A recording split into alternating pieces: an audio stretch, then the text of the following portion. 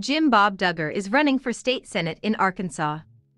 This is a sentence that was unbelievable to write several weeks ago, back when the polarizing father of 19 first announced his candidacy. But now? After Jim Bob's son, Josh, was convicted on child sex abuse charges? And it came out in court that Jim Bob and Michelle went out of their way to cover up Josh's history of accusation when he was a young teenager?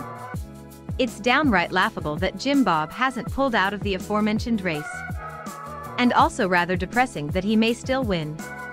On Sunday, meanwhile, Amy Duggar jumped on social media to mock both her uncle and the fact that he really is running for office on a platform of family values. Yes. Jim Bob Duggar. And family values.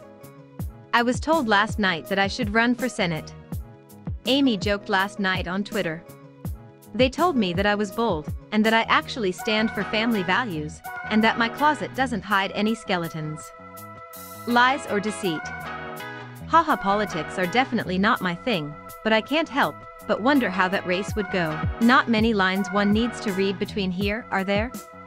Not many bushes Amy is trying to beat around, huh? Ever since Josh got arrested in April, Amy has been more outspoken than ever about just how effed up her infamous family members tend to be. She praised Jesus after the guilty verdict came down against her cousin, and has taken every opportunity available to drag the living hell out of Jim Bob. On Saturday, for example, Amy referred to Josh's confession that he inappropriately touched numerous little girls when he was between the ages of 12 and 15. As you likely know at this point, he wasn't arrested because his parents allegedly got him into some sort of therapy, although it was never made clear what the heck this meant. Real therapy.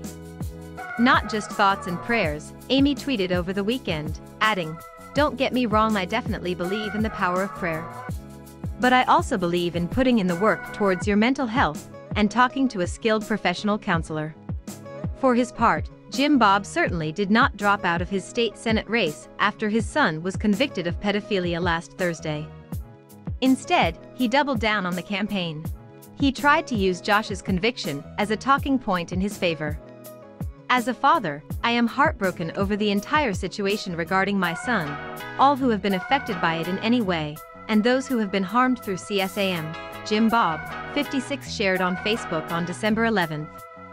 As an American, I respect our legal system and am thankful for those who serve in it. As a Christian, I put all of my trust in Christ in both the joyful and difficult moments of life. As your state senator, I promise to remain an unwavering conservative voice representing our great community in Little Rock. Thank you for your prayers and support. So there you have it. Vote Jim Bob Duggar. We're just kidding. Please do not do that.